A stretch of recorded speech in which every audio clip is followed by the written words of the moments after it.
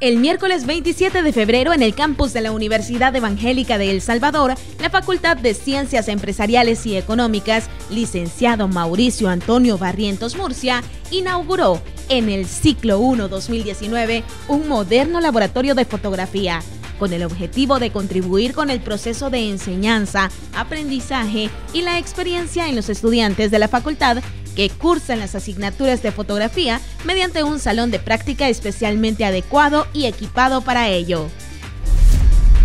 Este miércoles 27 de febrero se llevó a cabo el sorteo de la Megalote número 130. Este sorteo fue jugado con un primer premio de 100 mil dólares y una bolsa de premios que superan los 740 mil dólares.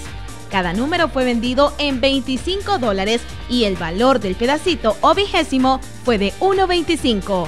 El juego de la megalote ha innovado la forma de jugar lotería tradicional, ya que ahora los clientes de la LNB que no hayan ganado uno de estos premios pueden enviar sus vigésimos no premiados, mínimo cuatro, a los distintos puntos de recolección o registrarlos en línea a través de www.lamegalote.com para seguir concursando en el programa Hola El Salvador de Canal 12.